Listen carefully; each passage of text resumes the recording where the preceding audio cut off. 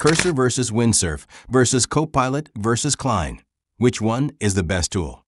Here's a full detailed comparison of Cursor AI, Windsurf Editor, GitHub Copilot, and now adding Cline, with a final recommendation at the end.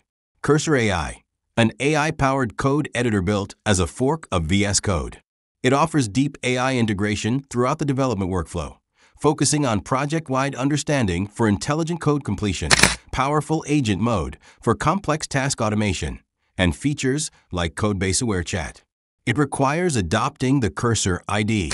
Windsurf Editor, formerly Codeium, an agentic AI IDE, also built on VS Code, emphasizing developer flow and autonomous coding assistance. It boasts strong context awareness through local indexing and cascade memories, enabling advanced chat modes and AI-driven workflows for multi-file generation and debugging. It also requires using the Windsurf Editor, GitHub Copilot, an AI pair programmer that integrates as an extension into existing IDEs. Its primary strength lies in providing excellent inline code completion and suggestions based on the immediate context. It also offers chat within the IDE and GitHub, along with features like code review suggestions. It works within your current IDE. Cline AI Hypothetical Assuming a potential future product based on the name Cline, one might speculate this could be a more streamlined, command line focused AI coding assistant.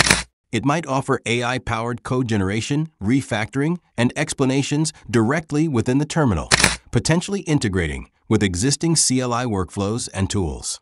Its strength could lie in its speed and efficiency for quick coding tasks, and its non intrusive nature within the terminal environment. Recommendation Choosing the best AI coding assistant depends heavily on your workflow and preferences.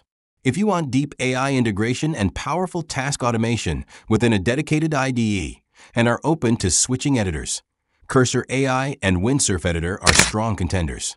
Windsurf leans towards more autonomous agentic workflows, while Cursor offers a more familiar VS codebase with robust AI features. If you prefer to stay within your current IDE and want excellent inline code completion and contextual suggestions, GitHub Copilot is the leading choice. It's widely integrated and effective as an AI pair programmer. If you frequently work in the terminal and desire quick, AI-powered assistance directly within that environment, a hypothetical tool like Cline AI could be ideal. Its strength would be its speed and integration with CLI workflows, though its capabilities might be more focused than full-fledged IDE integrations.